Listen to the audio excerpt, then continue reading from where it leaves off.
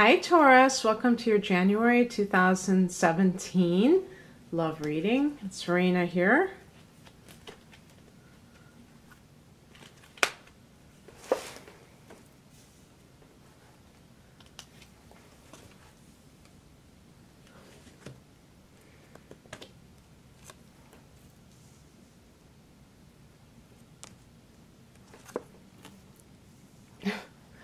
The card that never stops coming up.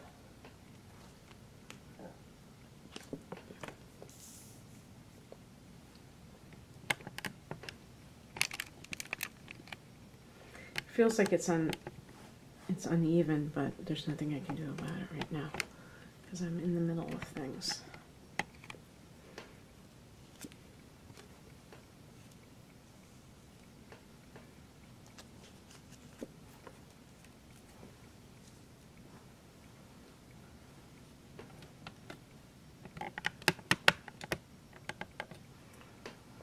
Okay. So you got the same card, and I think it was the same position as Scorpio, which is your opposite sign, and you got, and I wonder if you're going to be dealing with a Scorpio. Um, you got the Nine of Cups, the Wish Fulfillment card. The card of um, having, you know, whatever it is that you want the thing that you've been wanting to have come to fruition. And I hope this isn't too grainy because I'm recording this in a dim light. But anyway, um, that's a very positive yes card, you know, for anything that you've been wanting. And in this case, because it is a love reading, if there was some person that you have been wanting to get involved with, that person may come into your life and that may be the the feeling in January that you that you finally got what you wanted. Now, in the recent past, we have this card of kind of um, what would you call this? The the Knight of Swords is an energy of somebody who is very blunt in their speech. Um, this could literally be a, a man in his 20s or 30s. Um, you know, maybe this is somebody that you were involved with. It could be that this man is an air sign, Gemini, a very common one that's an adjacent sign to yours, or an Aquarius, another fixed sign that you may tangle with from time to time, or it could be a, a Libra. And this person may have been in your past because they were not compatible with you in some way and now you have a feeling of happiness. Now, maybe this happiness has nothing to do with finding a new person, uh, because the the energy coming in is the the Wheel of Fortune. So it sounds like you're just in general experiencing a lot of good juju, a lot of you know happy times. You see the person that's falling off the wheel. That's supposed to symbolize how sometimes we are aligned and everything is going our way and then sometimes um, it's like things are off. And so the timing of your life everything seems to be going the way you want it to go. So maybe your career is doing well taurus. Maybe you're just having a lot of good fortune and you know you are someone who feels like you want to experience it in the love arena and maybe now it's finally that was the one area that you couldn't have, and it's um, now it's coming true. Now, I was just thinking while I was talking about Jupiter. Um, you know, Jupiter is in Libra. Jupiter is, in, is the sign right before Scorpio, your opposite sign. So it's transiting your sixth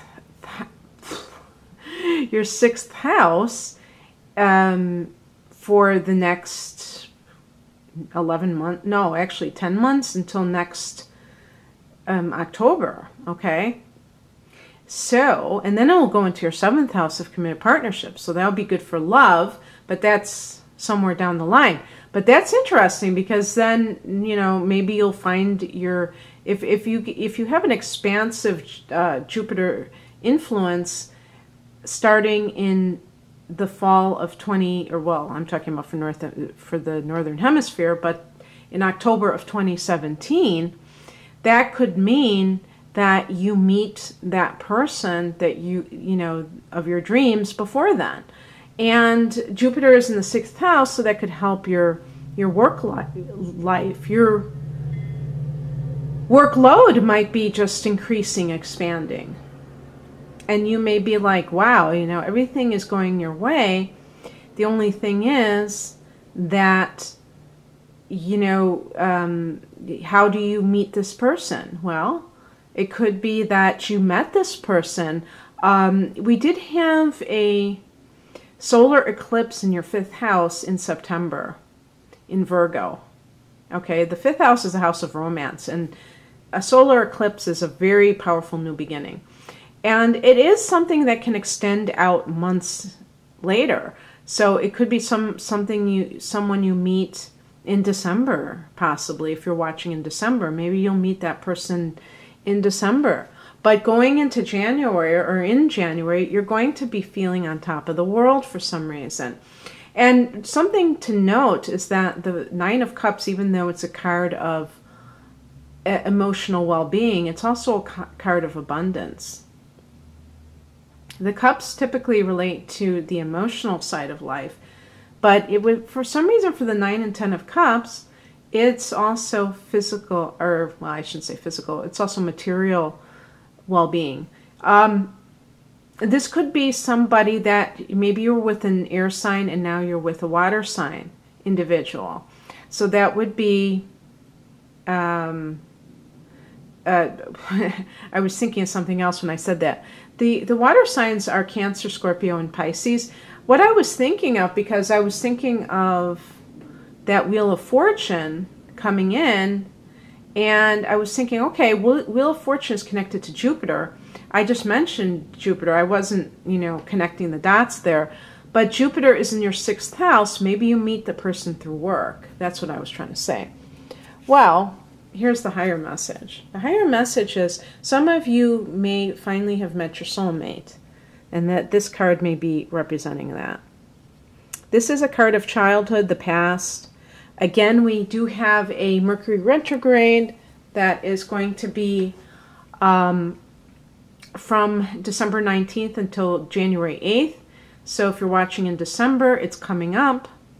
Most likely, if you're watching in, um, and it will start for Taurians, this this uh, Mercury retrograde will start in the eighth house and go back into the seventh. Oh no, no, it will not. Well, no, no, no. Sorry about that. It'll start in the ninth and go back to the eighth. Okay. Because it starts out in Capricorn. So the Capricorn is your ninth house. Um, okay, here's an example. If you met somebody while you were traveling, that person may get in contact with you. Um, if you met somebody of a different culture, that person could get back to you because the ninth house deals with things like that. Or somebody from a university, either a professor or a fellow student or something like that. So uh, that, that those are all, all, just possibilities. Not saying that that's going to happen, but the the it's interesting because the six of cups can relate to uh, someone that you knew growing up. You know, somebody from your childhood. This is a card of childhood or the past. And there's a nostalgic tinge to it. So maybe you maybe you hear back from your high school sweetheart or somebody um, maybe you had some kind of a high school reunion and you kept in touch with some of the people and then somebody got a hold of you. However, this could just be the card of meeting your soulmate. The the thing that um, crosses you is the hangman. Now I did pick it. I guess I did pick it. Um, I did pick it in reverse actually because it was upright when I went like this. But you know, it's going to be whatever is the more challenging definition. And I think that there could be a, a situation where if you have um, perhaps you're with somebody right now, and um, and you're just um, not happy with that relationship, but you still have not decided to leave them. So that may be that you have to leave that individual in order to move on with your life. And so, because the hangman in reverse or a challenge, sometimes reverse cards can be the more positive interpretation, but in the hangman's case, I think the reversed is the, the more challenging. And it's basically like somebody who refuses to make a decision even though they must, or they are hanging on to the past. And um, I don't feel like the Six of Cups is somebody like a negative situation. I, I, it's not in the reversed position, so I feel like that is not. If you if you you know come into contact with somebody that you knew in the past, I don't feel that that's hanging on to the past at all. I'm referring to maybe um, if you were if the Knight of Swords is somebody that you're with still, that person you may be afraid to leave that relationship for some reason. It may be as simple as material security or just because you don't like change. You know, most both of those could be in play for a Taurus person. But in either case, if you don't make a decision, then it drags on and you don't really feel free to be in you know to, to kind of um, have a new chapter in your life you're still you're still hanging on with the old the advice is the Seven of Pentacles.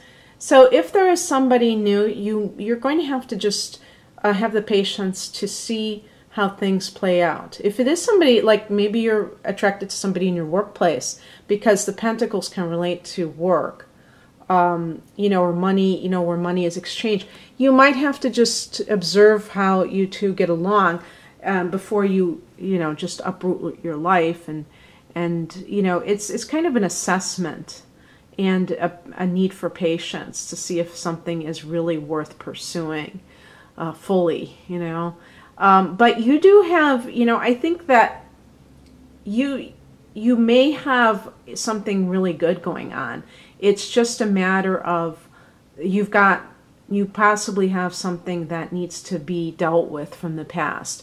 It could be a Pisces individual because the hangman can refer to um, can be I think it's ruled by Neptune, so that would be a connection to Pisces.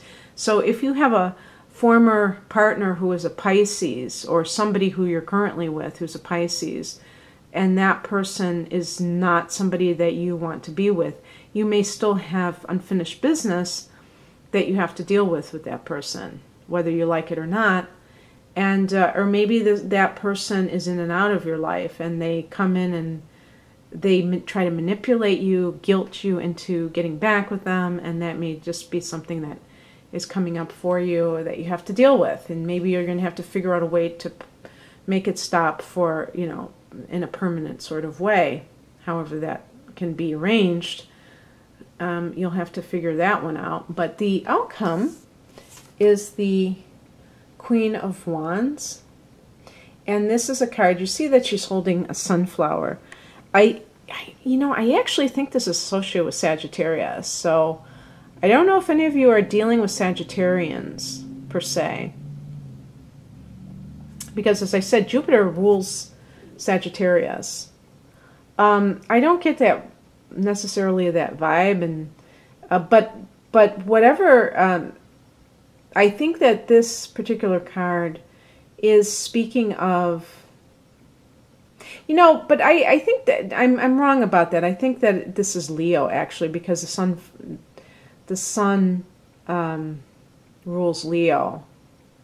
And I, I think that's why she's holding a sunflower. But a fire sign, you know, because the wands are fire. But it's a card of like happiness. Um, it, it is a feminine type of an energy. Um, for those of you who are women who are in the workplace, this could be you as a career woman, because as I said, that both of those cards, the Nine of Cups and the Wheel of Fortune, could be, you know, good things at work, but somehow that is also putting you in such a high vibe that maybe you attract that soulmate person. It could be on the job, but you're happy, you're positive, um, you are confident. Those are all the qualities of the Queen of Wands. And if you're a man, you can still be a queen, a queen for a day. um, because it's just the queen just represents the feminine principle, and the the wands indicate the masculine principle, the fire and the the feminine. And you know, um, when they're well balanced like that with the male and the female energy, it's like you have access to the intuitive as well as the kind of the the uh, worldly or the external power. The internal power and the external power are coming together. So there's a sort of a, I would call it like a a unification or some kind of a feeling within you that is well balanced and you know regardless of what gender you are and but it's a positive card. That's the most important thing. Where you're feeling like you know raring to go um, that you really have this this healthy ambition and also this this joy for life so some something is giving you that and it definitely is a career energy but it's also, I feel like because of the other cards, it could be that everything is going your way, Taurus, and that would be really cool for that to happen. So I hope you enjoyed this. It is a general reading, obviously, but um, hopefully at least some of those cards, you know, resonated with you. If you'd like a private reading, please click on the link below and um, you can check out my website. But uh, in any case, take care of yourself. Bye.